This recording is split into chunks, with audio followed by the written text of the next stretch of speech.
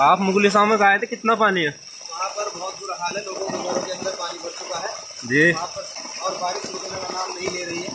पहली बार इतनी तेज मूसलाधार बारिश से इतना पानी देखने के लिए मिल रहा है। यहाँ पर बहुत बुरी हालत है और गाड़ियाँ डूब चुकी है।